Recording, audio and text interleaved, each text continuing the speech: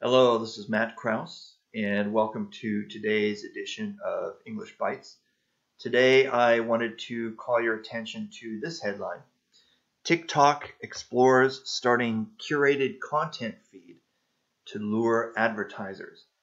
And the word that I wanted to focus on today was lure.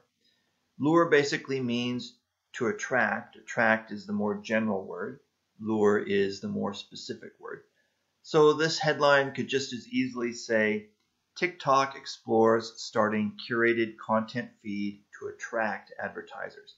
And the difference between attract and to lure is that, as I said before, attract is the general word. You know, you can use it for pretty much anything.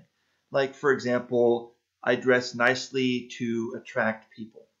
Uh, to lure, when you use this word, it means that your reasons are, they might be bad reasons, or you might be, once you get them, once you attract them, you do something else to them that maybe they don't like. And it, it's not always. I mean, sometimes when you use lure, maybe it could be 49% of the time it's good stuff, but 51% of the time it's bad stuff.